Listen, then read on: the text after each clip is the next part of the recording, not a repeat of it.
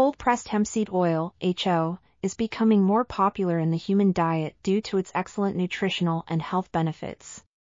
However, it contains a lot of polyunsaturated fatty acids, PUFAs, which can cause it to quickly degrade when exposed to light. To address this issue, filtration technology can be used to improve the oxidative stability of the oil, resulting in improved nutrition and longer shelf life. This study found that filtration significantly decreased the amount of chlorophylls present in the oil, while maintaining the same levels of other important nutrients such as total monounsaturated fatty acids, MUFAs, and polyunsaturated fatty acids, PUFAs.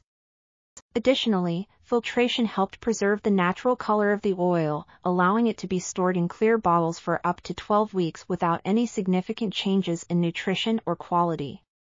This article was authored by Vincenzo Lo Turco, Federica Litrenta, Vincenzo Nava, and others.